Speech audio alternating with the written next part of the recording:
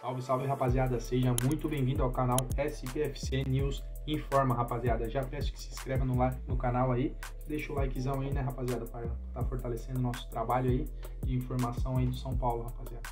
Vamos fazer a análise aí do pós-jogo, né, desse jogo da Copa do Brasil. São Paulo e Ituano 0 a 0 em pleno Morumbi, rapaziada. É, só que falta ir lá na casa dos caras e passar sufoco agora, né, rapaziada? Pela madrugada.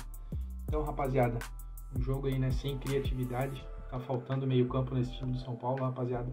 É só bola na área pro Erisson, pro Galeri. Tá difícil, né, rapaziada? Torcedor vaiou o time aí no final do jogo. Tá bem decepcionado aí, né? Tá faltando muita criatividade aí. E tá faltando jogador pra esse elenco aí, né? Jogador de criatividade, jogador no meio campo ali, né? Que cruza, que é mais rápido, que é veloz. A gente tem o Rato ali ainda que tá quebrando um galho no meio de campo ali, né, rapaziada? Só que ele é um pouco lento, né? Mas ele é bom, ele é um bom meio campo, ele distribui bem show de bola, bem bacana ali no meio do São Paulo ali. Mas tá precisando de uns caras mais velozes, né? Um estilo Lucas Moura, assim, um galopo. Jogador veloz aí, rapaziada. Já comenta, deixa nos comentários o que, que vocês acharam aí, né, desse, desse jogo.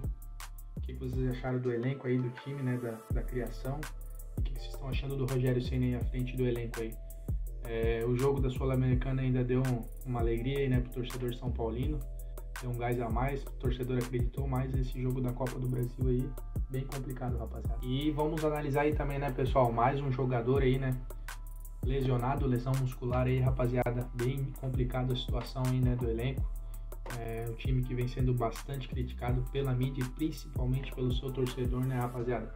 Sempre se machucando o jogador, não se recupera, um jogador sempre tão estão em risco ali de lesão a todo jogo, né? Toda hora, mas o muscular é complicado, rapaziada. Sempre é o muscular aí que vem afastando os jogadores nas horas decisivas aí do São Paulo, né? Beraldo acabou se machucando aí, rapaziada. É, e duas notícias boas aí foi a volta do Caleri e do Diego Costa, né? Diego Costa teve uma lesão no joelho, se eu não tiver enganado, mas é de joelho sim, se eu, se eu não tiver enganado, né? Mas, rapaziada, ainda bem, né? Essas duas, esses dois jogadores retornando aí. O Galopo já tá em recuperação, tá voltando. É, o do Diego Costa ele foi mais fatalidade, né? Em campo ele acabou machucando o joelho. Aí não dá para criticar também, é uma coisa que acontece no futebol, né? Mas a recuperação aí, tomara que seja uma recuperação bem sadia, bem madura, que ele esteja 100% aí e volte a jogar o que ele jogava aí, porque ele é um bom jogador aí, né, para a equipe do São Paulo. Ele é um capitão ali no elenco, né, um jogador raçudo. Na primeira temporada era bastante criticado, mas na última temporada que eu vi ele jogar pelo São Paulo, me passou bastante confiança. Um jogador que tem muita raça, briga com todo mundo, principalmente nos clássicos, né? Tem um jogador de personalidade, bate de frente ali, né, com os atacantes ali, né, do Palmeiras, Dudu, pessoal do Corinthians ali. E que bom que ele voltou aí, né? Tomara que ele volte e dê o seu melhor futebol aí. Beleza, rapaziada, pro São Paulo.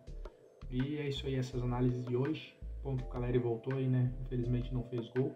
Ficou no 0 a 0 Mas é isso aí por enquanto, rapaziada. Se inscreve no canal, comenta aí embaixo, eu quero saber a opinião de vocês aí. E é nóis aí, um abração, não se esqueça de se inscrever, ativa o sininho. Todo dia tem vídeo do São Paulo aqui no canal, rapaziada. Beleza? Abraço e fui!